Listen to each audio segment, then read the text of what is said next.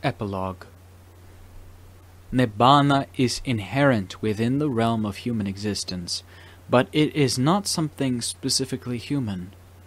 Nibbana cannot be found in the elements of earth, water, fire, or air, or in anything of the physical world.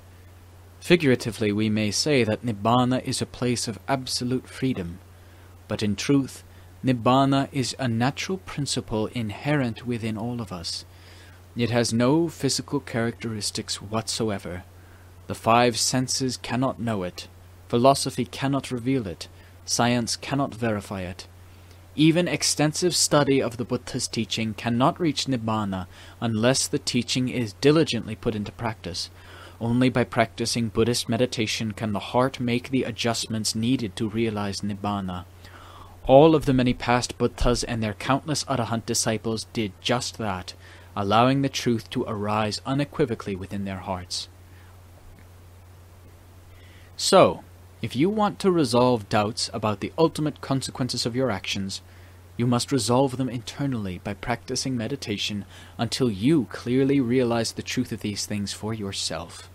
Even doubts that have plagued you for your whole life will dissipate in a flash at the moment that realization occurs, even perpetual darkness turns to brightness the moment a light is turned on.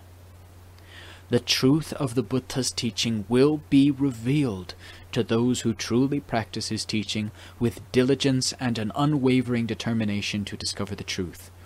In order to fully realize the truth about their own nature and about the nature of Dhamma, seekers of the way must strive to become spiritual warriors on the path to liberation.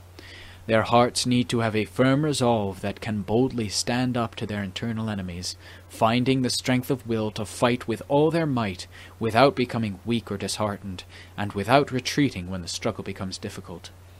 When this kind of fighting spirit is exhibited in the pursuit of Dhamma, then time and place are not relevant to their quest for the truth.